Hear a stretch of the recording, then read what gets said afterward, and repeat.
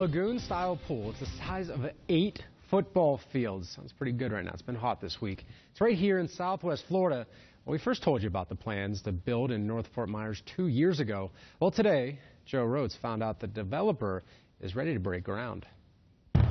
The signs are up along I 75, directing drivers to their next home. I've actually seen a little bit on Facebook. Justin Moraine has caught a glimpse of what's in store east of the interstate and north of Bayshore Road. 1,300 lots in the Brightwater community.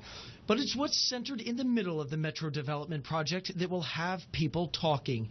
A massive lagoon style pool, eight acres in size. That's amazing. I just can't even imagine it being that large. No problem. We'll help you out. To put into perspective just how big that pool will be, consider this. A football field is roughly the size of one acre. So you're talking about something roughly eight times the size of where I'm standing right now. A state of the art amenity from Crystal Lagoons, brand new to the U.S.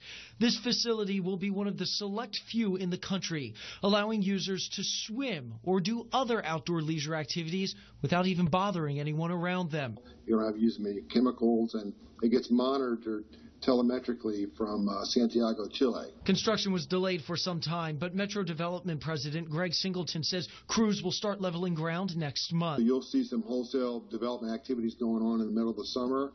Uh, and it'll probably take about 9 to 12 months to complete the development. Setting off something that's sure to make a splash. Joe Rhodes, ABC 7 News. And the pool is so state of the art, the crews will be able to monitor the chemical levels in that water and maintenance issues from that off-site location in Santiago, Chile.